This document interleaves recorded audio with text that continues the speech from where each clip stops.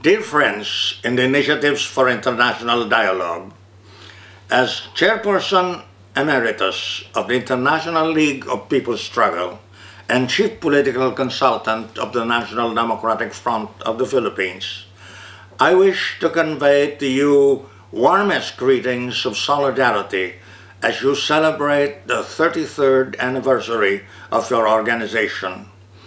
I salute and congratulate you for all the achievements that you have scored because of your dedication and hard work. Since 1988, you have excelled at sharing with the people of the world the rich experiences of the Filipino people in fighting for their national and democratic rights and defeating the Marcos fascist dictatorship and to carry forward the solidarity extended to us by other peoples and nations. You have been successful at promoting South-South solidarity.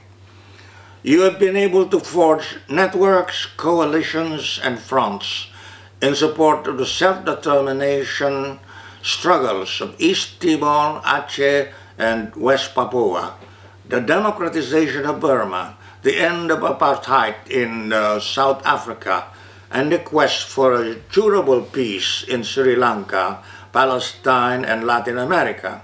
At the same time, you have carried out your task in the Philippines as your home base. You have continued to work for the self-determination of both the entire Filipino nation and the indigenous peoples, for democratization and a just peace.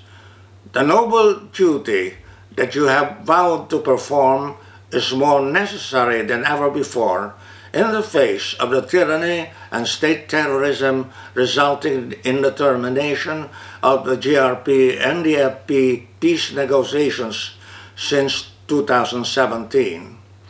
I hope that you will continue to work for the resumption of the aforesaid peace negotiations, the revival of previous agreements, and overcoming of obstacles to a peace process that has been guided by the Hague Joint Declaration of the GRP and NDFP. Let this be among your major concerns as you are determined to engage in promoting peace and conflict prevention in the Southeast Asian community. I wish the entire IID and all its leaders, interns, colleagues, and teammates to score greater achievements in bridging people and building peace in the coming years.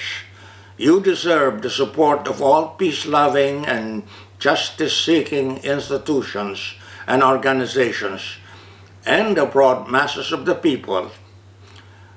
Long live the initiatives for international dialogue.